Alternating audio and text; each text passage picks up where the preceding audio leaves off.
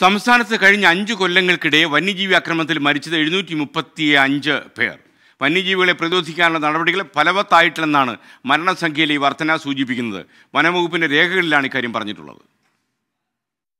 തൃശൂർ പാലപ്പിള്ളിയിലെ ജനവാസ മേഖലയിലെ കാട്ടാനകളെ തുരത്തുന്നതിനിടെ ഗുരുതരമായി പരിക്കേറ്റ് ചികിത്സയിലിരിക്കെ മരിച്ച വനംവകുപ്പിന്റെ താൽക്കാലിക വാച്ചറായ ഹുസൈനാണ് ദിവസങ്ങൾക്ക് മുൻപ് നമ്മളെ കണ്ണീരിലാഴ്ത്തിയത്. മനുഷ്യമൃഗ സംഘർഷങ്ങൾ വർദ്ധിക്കുന്ന പശ്ചാത്തലത്തിലാണ് ഞെട്ടിക്കുന്ന കണക്കുകൾ പുറത്തുവരുന്നത് രണ്ടായിരത്തി പതിനാറ് ഓഗസ്റ്റ് മുതൽ രണ്ടായിരത്തി ഇരുപത്തിയൊന്ന് ജൂലൈ വരെ മാത്രം വന്യജീവി ആക്രമണത്തിൽ മരിച്ചത് എഴുന്നൂറ്റി മുപ്പത്തി അഞ്ച് പേരാണ്.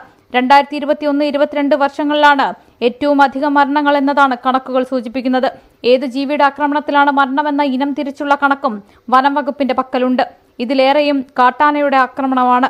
രണ്ടായിരത്തി പതിനാറ് ഏപ്രിൽ മുതൽ രണ്ടായിരത്തി ഇരുപത്തിരണ്ട് ജൂലൈ വരെ നാൽപ്പത്തി എട്ട് കോടി അറുപത് ലക്ഷത്തിലധികം രൂപയാണ് നഷ്ടപരിഹാര ഇനത്തിൽ സർക്കാർ വിതരണം ചെയ്ത തുക.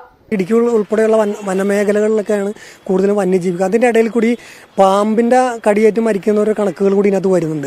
അപ്പോൾ അപ്പോൾ പാമ്പ് കടിയേറ്റ് മരിക്കുന്നവർക്ക് നഷ്ടപരിഹാരം സർക്കാർ നൽകുന്നുണ്ടെന്നുള്ളൊരു വസ്തുത പൊതുജനം അറിയുന്നില്ല. വന്യജീവി ആക്രമണത്തിൽ മരണം സംഭവിച്ചവരുടെ കുടുംബത്തിനും അംഗവൈകല്യം സംഭവിച്ചവർക്കും സർക്കാർ കൃത്യമായി നഷ്ടപരിഹാര തുക നൽകുന്നുണ്ട്.